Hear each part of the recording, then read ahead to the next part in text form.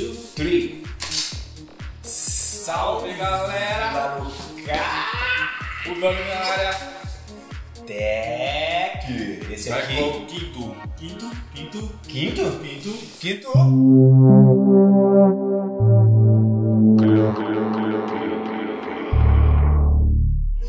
E hoje é especial. É, todos são especiais, mas estamos aqui com esse porrada na nuca.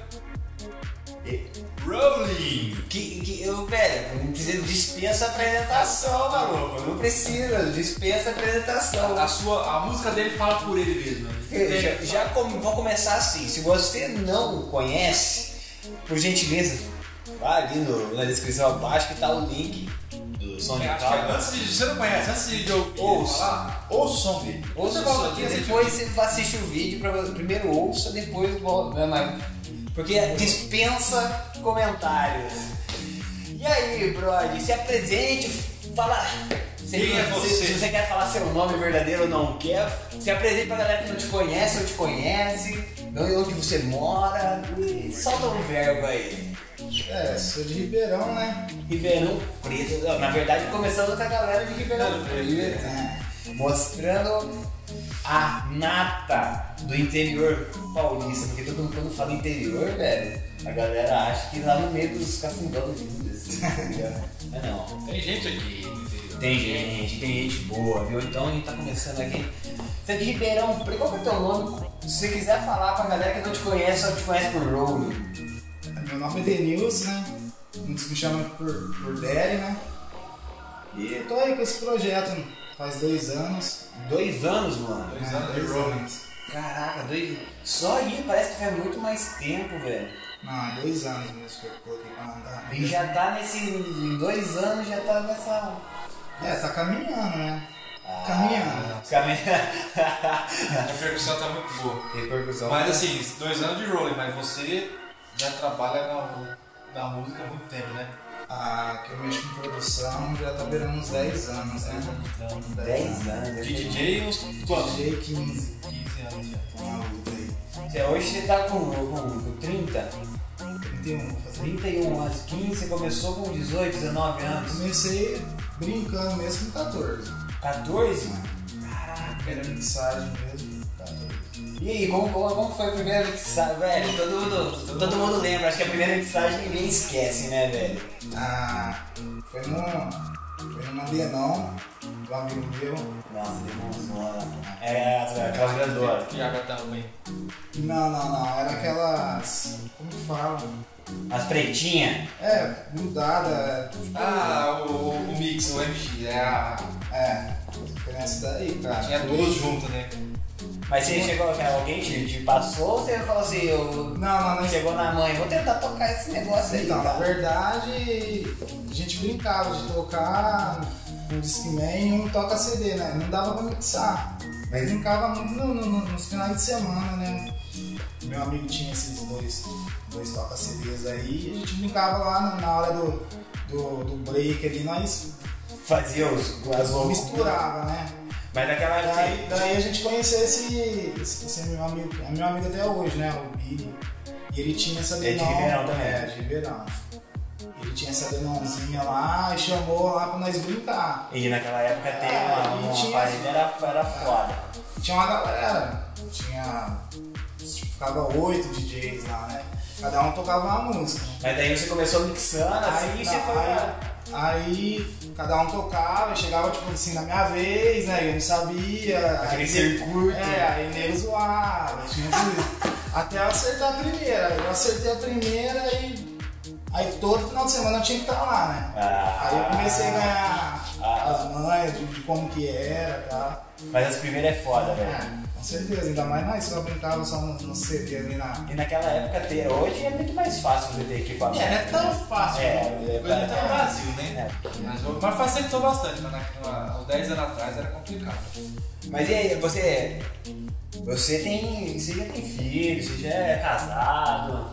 É, tem, tem duas filhas, né? Aham. A Valentina e a Pietra. É, eu tô, sou casado hoje, muito bem casado. Sorte. É. Sorte sua. Porque tem tanta gente aí que tá fudido. É, hoje em dia tá. Dá osso, viu? Então você tá bem casado, já é o recado aí pra você também. Tá. e vamos lá. Qual que é o apoio da sua família? É. Na tua carreira? A gente sempre pergunta porque às vezes tem gente que não recebe apoio muito da família, É, assim. no começo, né? No começo era difícil, né? Falava pra minha mãe que queria ser DJ, não deixava, falava várias coisas, né? Sempre contra, né? Aquela perguntinha de É. você trabalha? Não, eu sou DJ, é, mas você trabalha? Isso aí até hoje tem, né? Mas você trabalha com o quê? Não, eu sou DJ, músico, mas você faz o quê pra tudo? Pô, eu sou eu, eu sou eu, sou- minha profissão é essa, caralho. A galera não entende que isso- essa é uma profissão. ninguém, ninguém. Eles acham que eles ficam. É porque a maioria das pessoas acha, assim, você vai falar pra família, alguma coisa assim, eles acham que, nossa, você é top, que é ficar na balada, é ir lá tocar e É só curtição, putaria, né? rock and roll, não tem, né? É, é que acho que Eu falo que é igual, igual cantor, né? Ele fala, ah, você é DJ. Aí, cantor também, então não trabalha, então. Quantas horas por dia você fica em estúdio produzindo? Ah, eu? É. O dia inteiro. Eu acordo e já vou lá. Tô ouvindo música, tô fazendo alguma coisa, né? pesquisando, alguma coisa tô fazendo. Mas então, é isso que a galera não, não, não é isso. ninguém vê, né? Ninguém vê. Porque viver de música não é só. Não é basicamente só produzir música, não é só criar música. Você tem. É uma empresa, você tem, é um projeto que você tem musical. Então você tem que ter um marketing, você tem que ter administração, você tem a, a- a criação da música, que é seu produto. Entendeu? Não é só ir pra balada, ficar lá, beber, curtir e sair com a mulherada. É. Entendeu? O Então. enxerga de, de outra forma. Exatamente.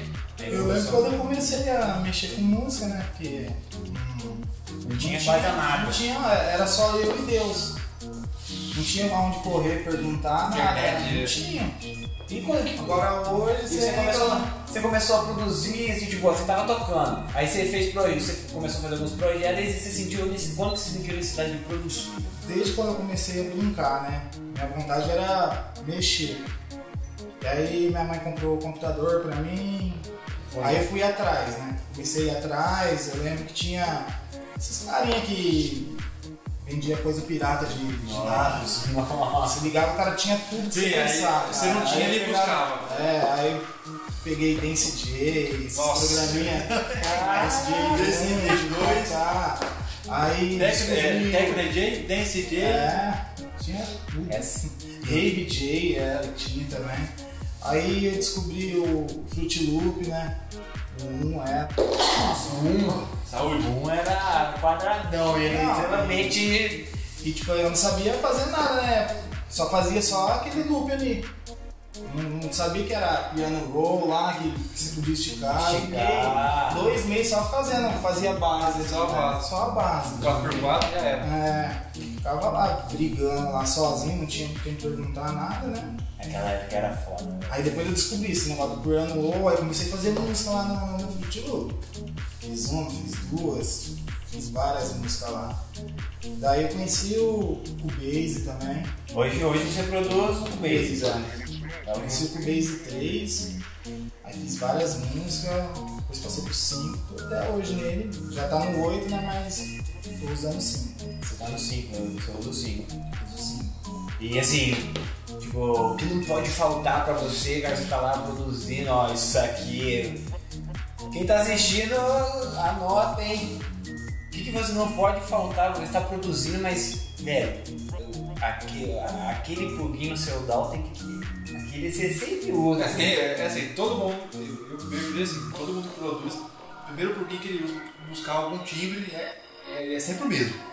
Ele não, não fica ele- tem um que ele vai lá, esse é o primeiro. Esse é o Mesmo se ele não for usar, Tipo, a minha ele, ele preferida. coloca lá. Ah, eu sempre uso o Massive, né? Massive sempre tá todas as minhas músicas. Massive Silent acho que é o. É, a Silent é bem usada também, né? É. Muitos. Muitos mesmo. Ah, alguns da Artura que eu gosto também, Mimoog. Tem sempre um timbre mais quente. É, é pelo estilo, né, velho? Ah, mas o Mimoog faz. Faz um, É, um barulho louco.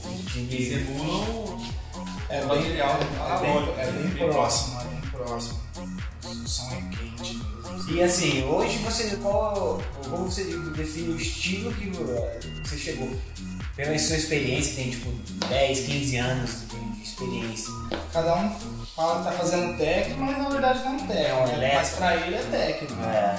Ah, eu, meu estilo aí, eu faço um negócio que tem explosão, que funciona aqui no, no Brasil, né? Mas muitos falam que é técnico, mas pra mim não é bem um técnico, É né? uma, uma É. variando, tem uma, é varia. Tem, Tem esses tem que ter bass forte, né? As músicas aqui no Brasil eu acho que tem que É, ter é que a- explosão e bass forte, né? Best porque por causa do, do, do gingado, né? Groove, né? Pode chegar a qualquer, qualquer loucura aí, mas eu acho que Best sempre vai ter que estar na. Como que você vê a, a- o cenário musical da música eletrônica dessa mudou bastante nos últimos, nos últimos tempos? Como você vê essa mudança? O que, que, que afetou a sua vida, a sua rotina? Tá muito, bem mais acessível, né? Então, na verdade, esse negócio de, de gravadora, de lá, eu nunca, nunca fui atrás, né? Tipo, uma vez só, né, na verdade, né, com, com o Numbers, né? A gente mandou uns material pra Lokick e não tivemos resposta nenhuma. E aí a gente tocou numa sexta-feira com um Mora aqui. Aí ele veio, ouviu a gente, pediu um CD nosso, levou lá pra Lokick e na segunda-feira eles pediram todas as músicas nossas. Então daí, daí eu comecei a ver que essas paradas de, de gravadora, de, de label, assim, essas mais conhecidas, sempre tem que ter alguém, né, pra, pra levar sua música até lá. É, o- Você mandando o seu material, acho que nunca tem resposta. Então daí eu nunca mais mandei Sim, nada pra. Não, não mando mais nada, né? Aí geralmente os caras vêm atrás, né? Conhece o trabalho e, e vem atrás, né? E todo mundo tem aquela, aquela parada de. Vou parar. Não, Desistir. desistir, eu vou. Tem não aquele, mais aquela, aquele dia que você acorda com vontade de meter o pé porque teu computador te fudeu, tipo, travou, ou você não, aquele dia não rolou aquela, aquela, aquela mix, não ficou legal. Você, você tem essas. eh, ou não, você muito centrado fala assim, não, não, não, não deixa cair. ó, a- Ah, eu já tive já, né, cara? Teve uma vez que tava lutando pra, pra comprar meu primeiro monitor de áudio. que é caro pra É, na época, quando eu comprei, acho que era em 2008, eu acho. Era dois pontos, pra mim era muito dinheiro, né? Aí daí fui e comprei. Na mesma semana queimou minha placa-mãe. E era caro pra caramba, né? Aí passou um monte de coisa na cabeça. Né? Aí você já fica. Aí minha batalhei pra mãe conseguir comprar esse bagulho Ah. me queima essa. Putz. E eu tava na pilha, né? Ia testar. Imagina, imagina. é, Nossa, Nós pensamos de pegar o bagulho. E você começou, você começou o Rolling faz dois anos, mas o que te fez começar ele assim, tipo, vamos. Porque você tinha outros projetos antes, né? Você tinha outros É. projetos e de repente você falou, vou fazer o Rolling. Na verdade, o, o EDM veio. Ô filha da olha isso aí, ô, desliga essa porra aí, cara. Ô, Danilo, Foi mal. Você sabe o que fazer aprontar com esse cara aqui, né? Nossa, você me mata, pessoal. Ah, gostoso. Delícia.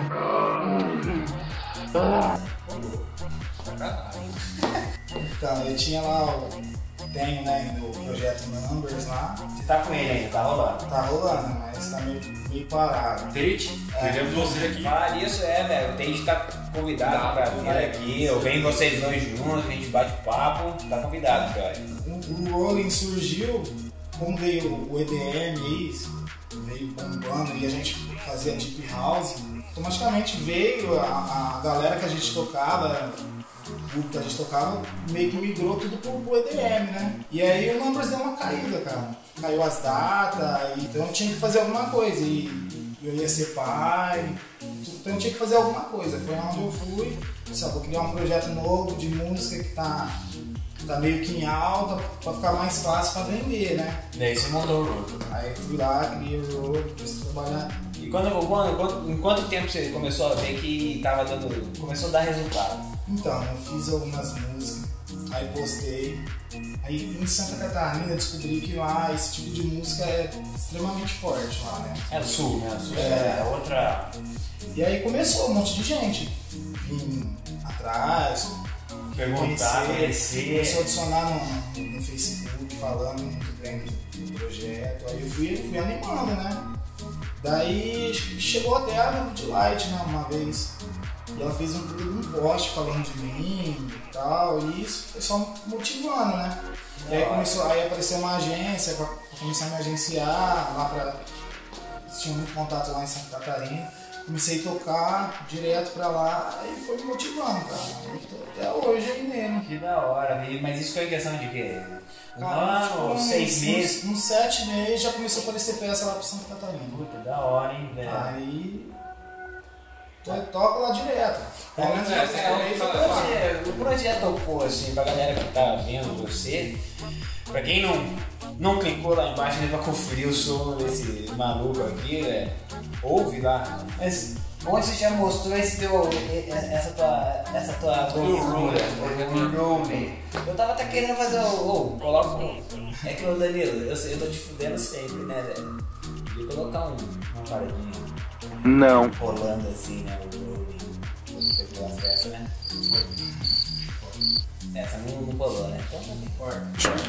É por isso que eu, eu tenho que, viver- eu tenho que viver da música, bro, porque comediante não dá. Mas aí, O Rolling passou por onde? O Bar- o Barcart ainda tá, tava brincando aqui fora, falei que você já é de casa do Barcart, né? Parque Art foi, na verdade, foi a primeira festa que eu fui com o Rolling pra fora, foi lá. já foi direto pro Pargard. Foi, foi muito bom. Foi tipo A vibe- casa, a é casa cheia, porque tinha um, tinha um produtor que ele tinha uma música estourada só lá em Curitiba. E é, acho que é Chris Lauer. Ah, lá, tá. É, um mínimo lá, porque essa música era estourada lá. É é- E acho que ele nunca tinha ido tocar lá. Eu fiz a estreia lá, foi numa noite da TNT, acho que 19 de dezembro, se não me engano. Cara, tinha, uns, sei lá, umas 3 Sai mil pessoas. Foi sucesso lá. Aquela Parque Art lá, eu, velho, que lá tem cada história, maluco. Você tocou na Parque Art, Soul Vision. Soul Vision, Alpha Team, lá Catarina, em Porto Belo, né? É muito da hora também. Ah, Dangage, toquei. Lugar, é também é. Curitiba é. Ah, Music. Os conterrâneos gostam muito do teu trampo lá então, meus conterrâneos. é, a galera gosta de- desse tipo de som. É a, aceito. é, a cultura lá, musical, Ah, é, é, é mais eles são mais, ah, a mais abertos. Eu sou mais ah, paranaense, Santa Catarina, ali, eles são mais receptivos à música eletrônica. Independente do estilo. Entendeu? Ah, se você tocar um tech house, tem um núcleo lá da galera que go- que gosta, que gosta. Tem a galera que gosta de eletro, né? Eles estão fazendo, tipo, de domingo lá, eles fazem uma coisa mais deep, mais tech house. Tá lotando lá. Eles fazem um domingo, acho que do do mês. Você né? vem aqui pra São Paulo aqui, o pessoal já é meio assim, né? Esse, É, acho que aqui tá meio. sei. Começando, eu acho que ainda aqui tem Deu uma caída, agora parece que estão querendo voltar de novo, porque antigamente não era. era, era, bem, mais- era, era bem melhor. Mas agora parece que tá querendo voltar. É, eu costumo falar, essa, esse boom do EDM, do mais comercial, mais festivais, tá, tá ajudando um pouco a, a cena com eletrônica. certeza, com certeza. Levou a música eletrônica pra. É outro patamar, entendeu? É. E assim, hoje você. Hoje como que tá o projeto? O que, você pensa? Tipo. O futuro com ele. Ah, lembrei de um detalhe. Uma indicação de um brother que tá assistindo a gente, que participou, que o Pedro, ele deu uma ideia pra nós e até vocês podem ajudar sempre a gente, que a gente sempre. O clubinho é feito pra nós aqui. nós. O clubinho é pra gente trocar informação mesmo. Ele indicou um mini quadro aqui pra nós e nós vamos. A primeira cobaia vai ser você. Ah, é.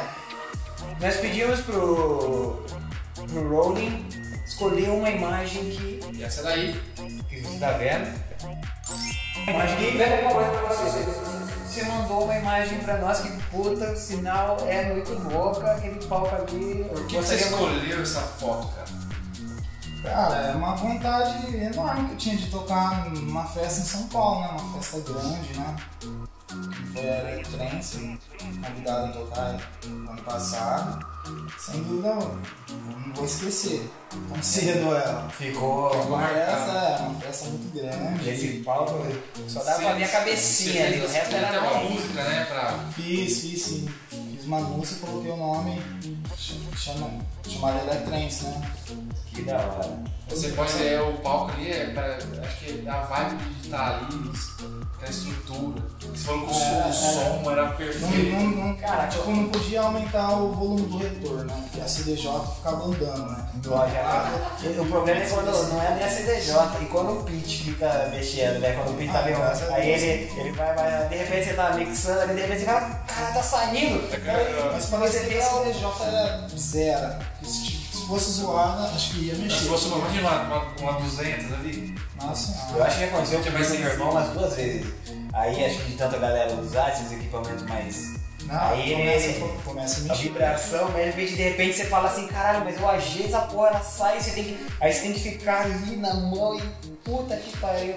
A CDJ ela tava andando, cara. Era incrível. Ah, você tava falando ali que você tava segurando o bico com a a bateria com a barriga, aí a CDJ indo pra lá, você vinha, puxava ela de novo. E, e isso, aí os caras foram, puxaram o fio da, da, de uma caixa de grave lá, deixaram uma só mesmo assim, não dava certo. Que hora.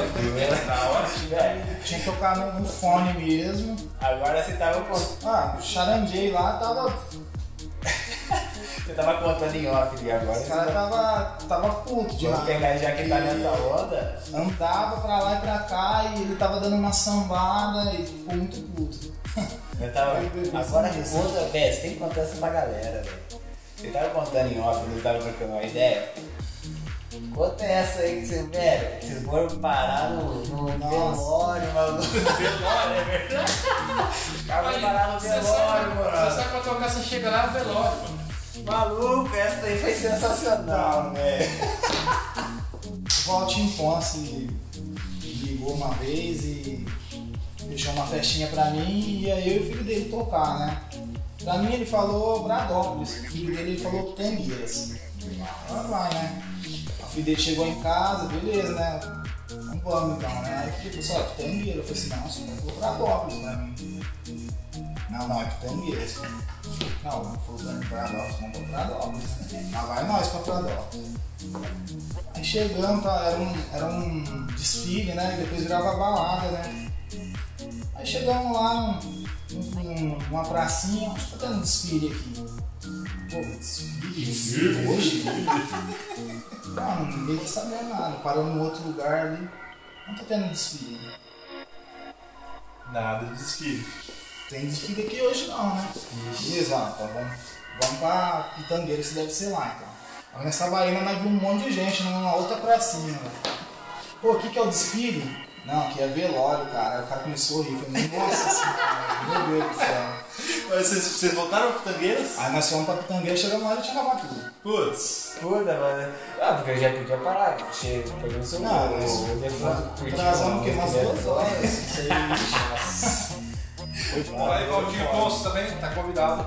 É, tem que trazer. Esse tem história, Esse hein? daí, vamos falar, esse tem história. Esse Mas tem que é, história. você que é bonito, tem que vir contar pra nós aqui, velho. Tá convidado. Vai dar muita risada. Convidadíssimo já. Então, brother, você dá. Falando do futuro, Do futuro. Qual é o futuro pro Rolling? Não só pro Rolling, mas pra você como, como artista. Então, esse ano eu quero fazer um, um álbum Rolling, né? Um álbum só, um álbum completo. É, fechar um álbum, 10, né? 10 músicas. E eu quero ouvir essa porra. É. Na verdade, você tinha me coment- comentado, né, que a gente tava trocando ideia, que agora nós temos como parceria a Tecno Brothers, né, a gente tava fazendo um convite pra você, só, um, só um uma remix, não era? pra lançar um EP mesmo. É. Era pra fazer um EP. É, pra fazer um EP, isso. Aí ele comentou, e eu já tô já faz tempo, faz um mês isso que a gente falou. Tô seco pra, pra ver o material, porque É porque é foda, né, velho? Porque quando- você produz e você vê os brothers falando que vai produzir alguma coisa e aí fico na pilha, eu falo, cara, manda que eu quero ouvir, eu fico curioso. Às vezes quando a gente tá fazendo EP com um brother, eu, eu falo assim, mano, manda uma preview que eu tô, eu quero saber o que você tá É, fazendo. agora no EP nosso novo, né? O pessoal fazendo remix das nossas músicas, manda, manda. Ó, eu vou te mandar hoje. ó. Era meia-noite, tava assim, ó. Cadê? Manda o link, manda o link. Manda aí! Mas manda pra nós, Manda aqui. pra nós. Antes eu quero ver pelo menos a preview, cacete. Senão eu não, não, não, não vou ser feliz, cara. Mano, sim. Aí eu tô fazendo também, eu e o Jota estamos desenvolvendo um projetinho que chama Monomakers. Novamente, Jota, convidadíssimo. Mais uma. Nem já tocou junto também. Vem cá, vamos bater um papo aí, irmão. Chega nós. No meio que se chama assim. Isso, é. Vocês vão chegar aqui, que tipo de Cara, vai ser uns BPM 123 BPM, a gente tá vendo ainda. Que, que, Tá a identidade. É, Essa não- a gente já tem umas seis músicas já. Tem uma também que tá, que já tá bombando também. Tem bastante gente tocando, sabe? O Mota, o Boni tem tocado bastante também. Pô, que da hora, mano. Muito bom. Isso é bom, muito bom.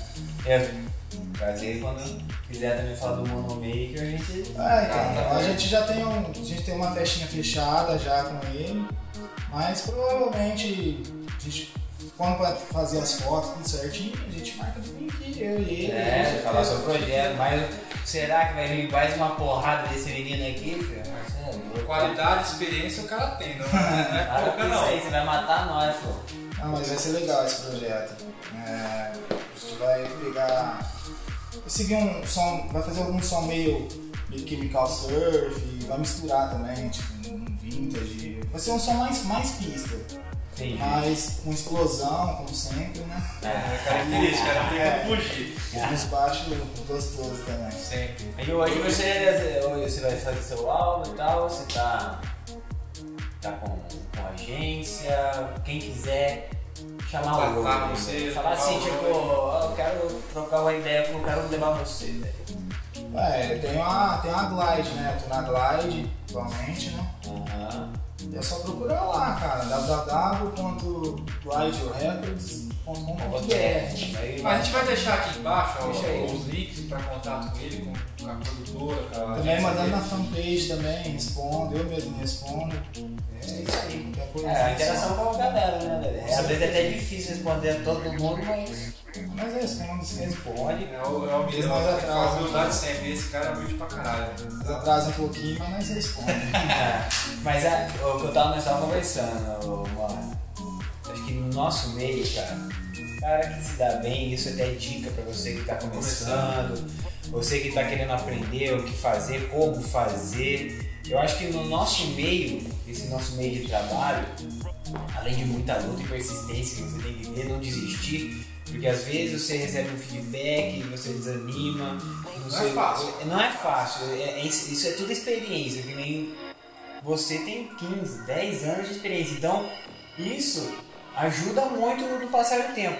Mas eu acho que, acima de tudo, cara, no nosso meio, acho que é a humildade. né? Quando a gente vê pessoas humildes assim, a gente sabe, aí a gente já tem mais a certeza o porquê dá certo das coisas que você faz, tá ligado? Porque a- acho que a humildade ela é acima de tudo, acima do talento, acima de qualquer coisa, velho. Porque você não vive sozinho, você depende das outras pessoas, tá ligado? Então, pra- é conselho pra você, conselho de grátis. Desgraça. Em vez de você pagar, vai ir lá fazer um cursinho da quinta da Bibó, tá dando de graça. Eles vão falar isso pra você. Então, e aí, aproveitando, de graça é tudo isso aqui, porque que se fala aqui, né, você tem que pagar bastante pra ver. E aí você paga muito ainda, não é barato não. Mas aqui tá de graça, aproveite. Isso aqui, ó, velho, isso aqui não é qualquer lugar não que você tem conteúdo não. Então, é nóis. Pá! Ai meu Deus, nem tem que ouvir essas coisas. Você ouve todo dia. É, isso que é o pior. Ele dorme, ele dorme comigo. Vá. Meu irmão, caralho. Dorme na mesma casa. Explica, né? Ah, você não de cara barbudo, não. Tá ali, ó, a, a, a minha barbuda ali, ó. É, ela é brava. Brava nada. Fala aí. Não é bravo? Ah, às vezes. Mas é isso. Você. Mano, ou, de coração. Prazerzaço mesmo. prazer, a gente já.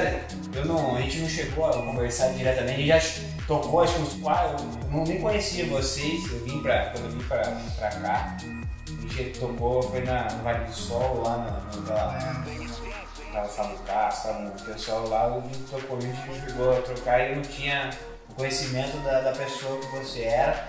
Talento que você tem, obrigado por ter vindo aqui, compartilhado com todo mundo, não só com a gente, seu né? tempo, né? de- aqui. disponibilizar seu tempo, porque, velho, a gente sabe como que é esse, esse mundo, disponibilizar o tempo, vir aqui falar pra galera o que a galera quer ouvir, o que você quer falar, mostrar seu trampo, porque a gente sabe que é complicado, a gente agradece mesmo de coração.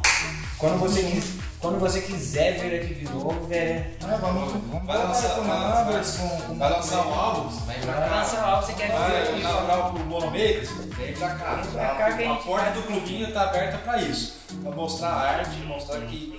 pra- principalmente pra quem faz com amor a música. Isso a gente sabe o que você faz. Que é, é, é difícil. É difícil a gente achar pessoas que realmente fazem.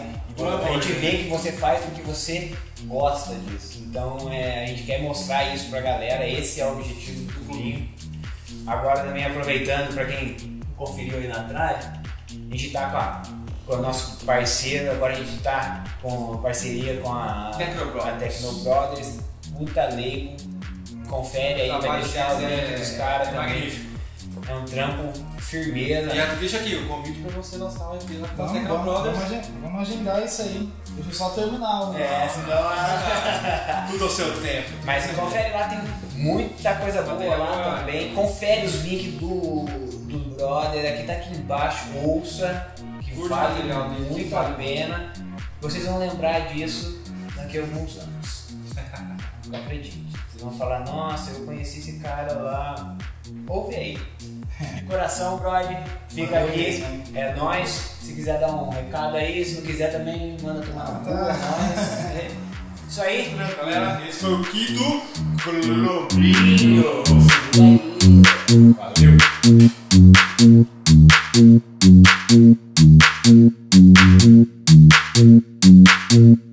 Valeu.